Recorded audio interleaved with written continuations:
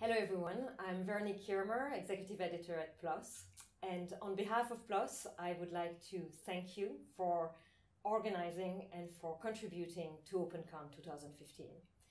Um, this was the second annual conference for open access um, researchers in their early careers, for students who are dedicated to open access, open education, and open data. And um, I had the privilege to attend the conference, and I must say it was truly a wonderful event. Um, it was really inspiring and heartening to hear um, what the open science innovators are thinking of and, and doing. And, um, and really kudos to that open access community because um, a lot of um, the ideas that had been discussed in the previous um, OpenCon conference were already turned into action. So who knows what will stem from this year's conference.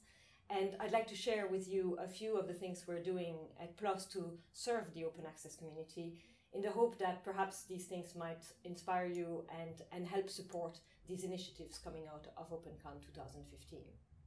More than 14 years after our own founding, PLOS is still engaged in a robust effort to build and support communities that are helping to change the way science is communicated. I think it was Jon Tennant during the meeting who stressed the power of the combination of open access publishing on one hand and the sharing of scientific concepts through blogs on the other, and all that in the context of a true research community vibe. Directly related to this and, and of interest to those in the early stage of their careers, this year we reactivated the student blog a forum for students from a variety of institutions, disciplines, and different levels of education to communicate their thoughts on open access science, interesting research, and other things. I encourage you to check out the student blog on the PLOS Blogs network. This past year, we've also held the first PLOS Early Career Researcher Travel Award program. This was to recognize efforts by PLOS authors in the early stages of their career and to support opportunities for them to present their research findings to a wide audience. In the essays that we received from Travel Award participants, we heard concerns from young investigators about affordable access to the scientific literature, limited funding for their own research, and limited training and funding for communicating their work.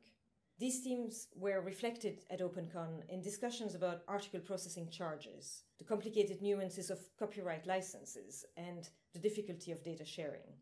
Over the years, PLOS has tackled these issues and developed some resources. For example, we offer publication fee assistance for those in need. We have produced educational guides, such as How Open Is It?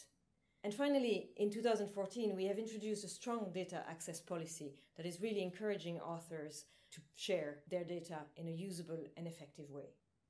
But we're not stopping with this. In the next year or two, you'll see some wholesale changes coming from us.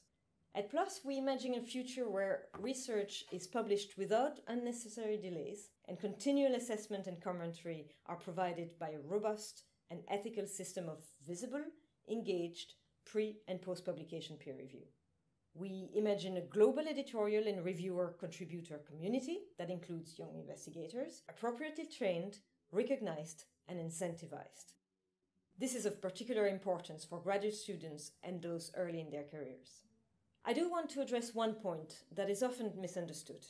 At OpenCon, some early career researchers expressed concern that publishing in open access journals will harm their career because of the perception that these journals aren't prestigious.